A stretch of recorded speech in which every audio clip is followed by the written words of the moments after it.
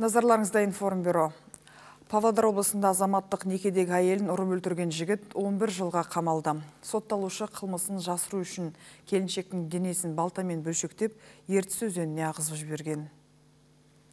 Жан түршігерлік оқиға 2022 жылдың күз айында Тереңкөл ауылында болған. Тергеудің мәліметінше көңіл жарастырған жігіт пен әйел арасындағы жанжалға 36 мың теңге себеп болған көмір алмақ болған ақшаны келіншек жұмсап қойған үшін күйеуі соққының астына алған екен. Қатты жарақат алған ауыл тұрғыны оқиға орнында жан тапсырған. Сосын жігіт әйелдің денесін бөлшектеп қапқа салып өзенге лақтырып жіберген. Кейін марқұмды туыстары іздеп полицияға хабар беріпті. Қылмыс тек 10 ай өткенде бірақ ашылды. Айта кетейік айыпталушы осыған дейін абайсызда адам өлтіргені үшін 8 жылға бас бостандығынан айырылып түрмеден мерзімінен бұрын босап шыққан. Адам өлтіру фактісі бойынша сыға қатысты қылмыстық істі қарады.